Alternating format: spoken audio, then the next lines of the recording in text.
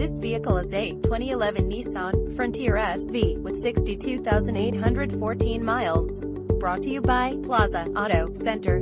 This Nissan is a four-doors vehicle with four cylinders.